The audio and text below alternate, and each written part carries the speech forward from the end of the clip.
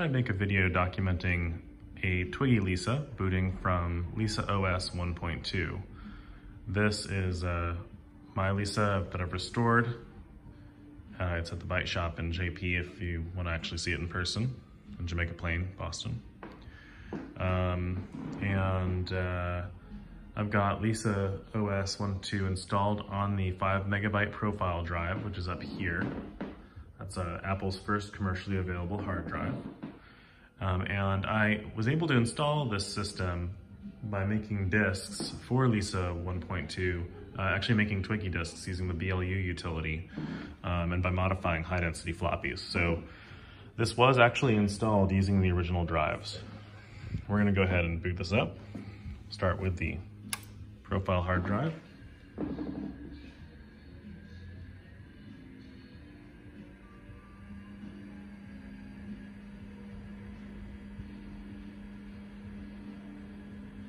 Notice a few things here. This is an original Lisa uh, with the uh, Twiggy drives, which were a high density format that Apple um, released in 83 with, with the Lisa, introduced in 83 with the Lisa. It was supposed to be basically an in-house alternative to um, the suppliers they had been using, the drives they've been using up to that point in the Apple III and the Apple II. And you can actually see in the um, keyboard, the slide outs here. Let's see if we can find it. Yeah, the icons. Then if you have an original keyboard, you've got these wonderful Twiggy icons. And what's unique about the Twiggy disk is uh, that it uses, it has two slots for read heads, read and write heads. And that's because I used a variable speed motor and two heads to read off the disk, which is kind of a unique feature. It was also the thing that kind of killed the Lisa in terms of um, reliability. It was very unreliable, and uh, in the end, most of these were recalled. And so this is a fairly rare survivor. So now the profile drive is booted, it says ready, and we can boot Lisa. Just gonna wait for this to power on. There's our startup testing.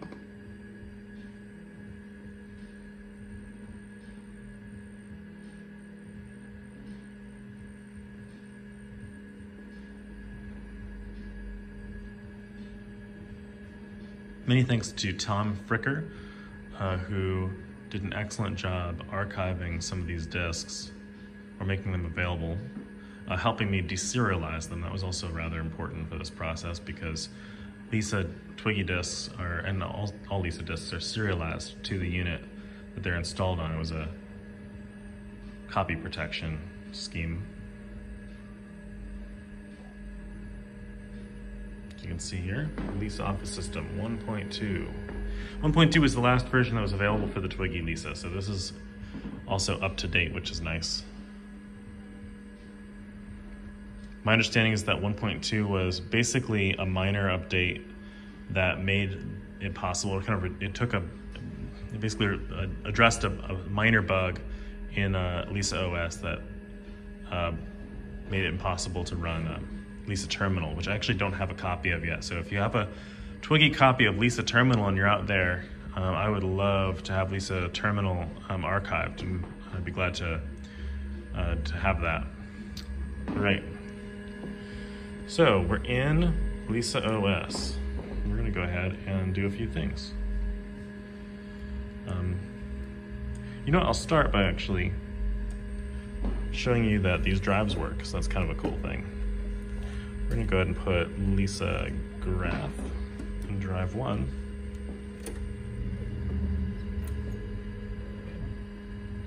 Here's the unique sound of a Twiggy drive.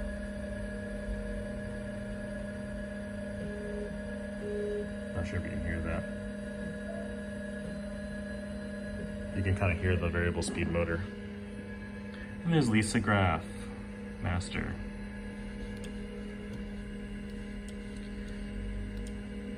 And I can put that away. So set aside Lisa Graph Master. There's the Twiggy icon for Lisa Graph Master. This is how I put these programs on this computer. Then if I want to eject it, I simply press the button. It puts away the work that was on, done on the diskette. In this case, nothing. And pops it out. And we can test drive too. In the same way.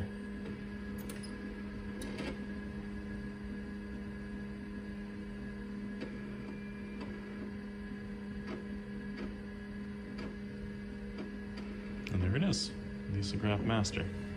You know, they say that these drives were unreliable. I'm not sure I've really experienced that here. They've been pretty good after a very minor, you know, maintenance.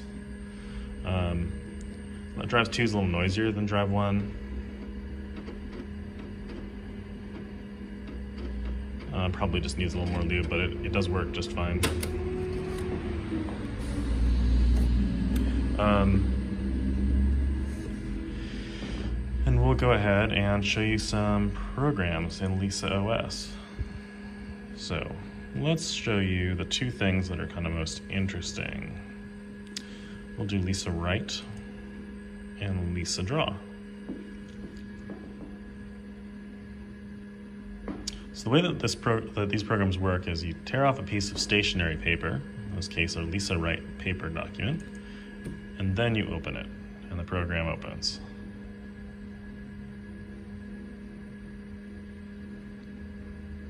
Now, when the Lisa was released, the original intention was to have people boot the operating system off the disks, but they that turned out to be kind of a kind of well, more very slow.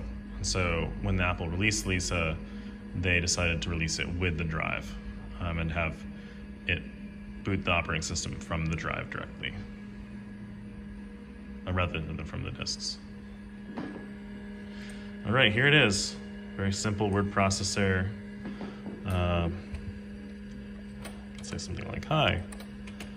Um,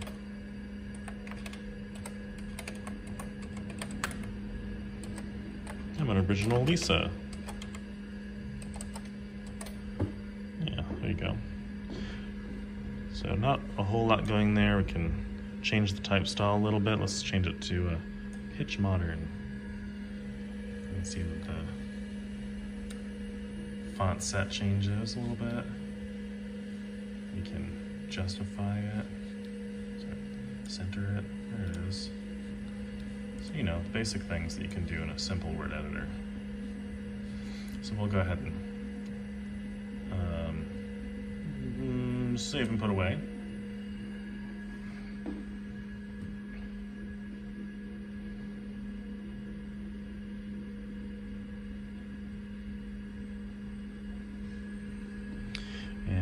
I'm not going to keep this work.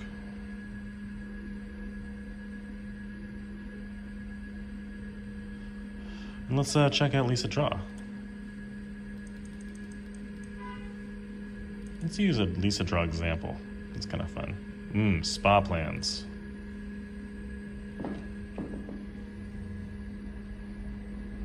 Lisa Draw would have been kind of one of the killer apps here. It's pretty cool. Uh, the uh, Lisa Calc and Lisa Project were also fairly important applications. I've heard that NASA uh, used uh, Lisa Project.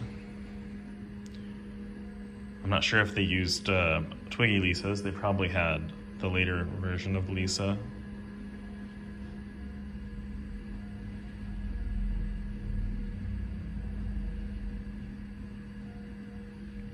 As you can see, this is not a zippy machine. It really does push the uh, 68,000 processor right to the limit.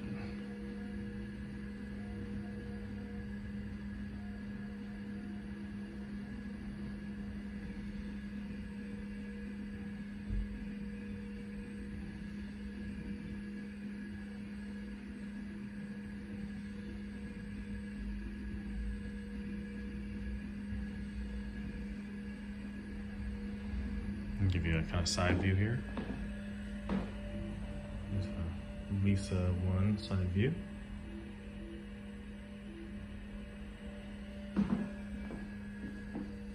And here's a Lisa 1 the other side view.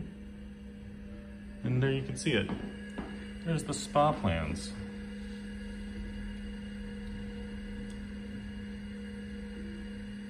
And so you can add, you can add your own shapes and whatnot to a drawing like that, or a circle. And we can fill things, shade it in with color, for example. So yeah, there was a lot you could do with something like this. As you can see, um, somebody might have uh, pulled together some blueprints, you know, um, or done some simple digital art.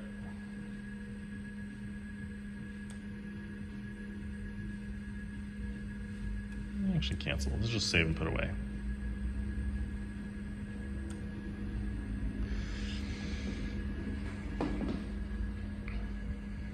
That save, and then I'm gonna show you the preferences for the system.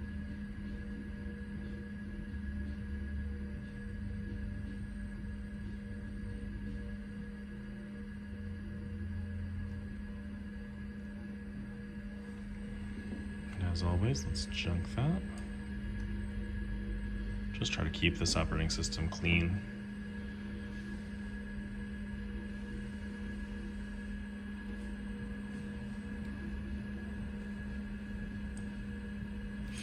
All right. Um, I can set this aside too.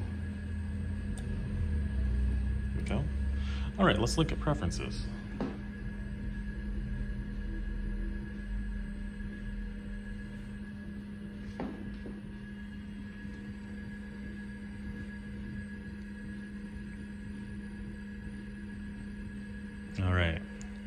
The convenience settings. You can adjust the screen contrast, make it bright. Uh, we can change um, the, basically the, how long it takes for the screen to dim. Make it five to 10 minutes. We can make it uh, dim level. Adjust that so it dims out like that. Kind of gives you a sample of how dim it's gonna make it.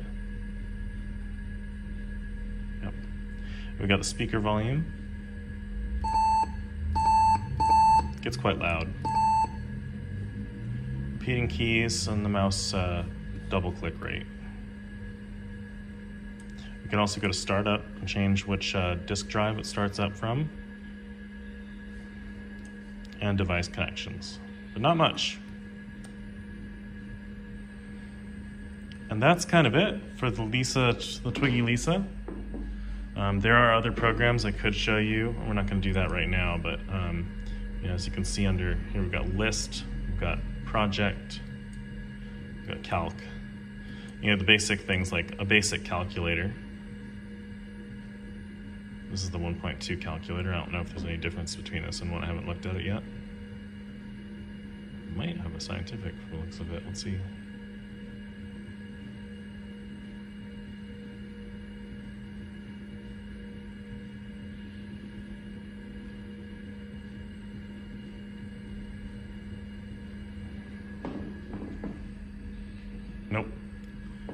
Actually has some features, some decent features here.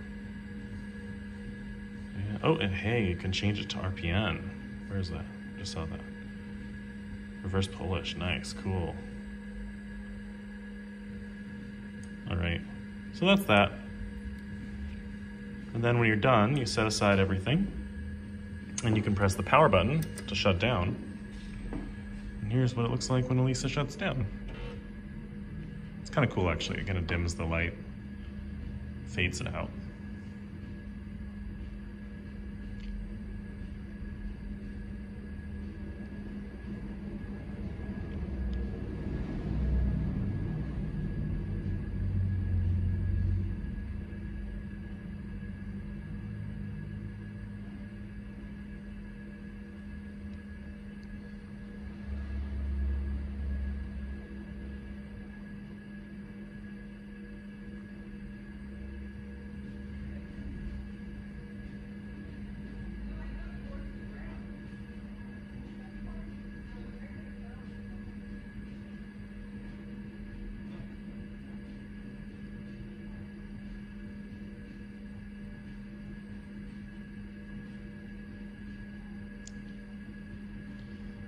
Like everything with Lisa, it takes a while.